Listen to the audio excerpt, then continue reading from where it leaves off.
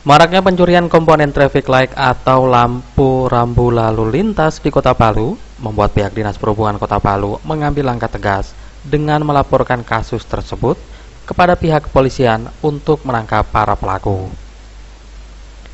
Kepala Dinas Perhubungan Kota Palu Setia Susanto menjelaskan, sejauh ini sebanyak 10 baterai traffic light di sejumlah titik telah hilang dicuri orang. Selain membuat gangguan pada sistem kelistrikan traffic light, ulah tangan nakal tersebut juga membuat pemerintah daerah merugi. Pasalnya, pengadaan komponen elektrik itu dananya bersumber dari pemerintah daerah. Setia menyebut harga satu baterai traffic light itu yakni 3,5 juta rupiah dan hanya ada di Pulau Jawa. Setia juga menambahkan tidak hanya baterai atau aki traffic light, pencurian komponen penerangan juga marak di Kota Palu seperti penerangan taman dan jalan. Pihak Dinas Perhubungan menegaskan bersama pihak kepolisian akan memberikan sanksi tegas kepada para pelaku.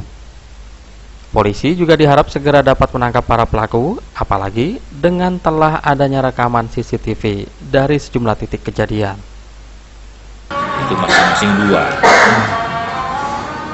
Dua jadi empat, jadi secara total sampai tanggal 9 ini ada sekitar 10 terkait dengan traffic light. Baterai dicuri. Itu semuanya sudah kita laporkan. Sudah kita laporkan ke Polres yang mungkin ditelanjutilah dengan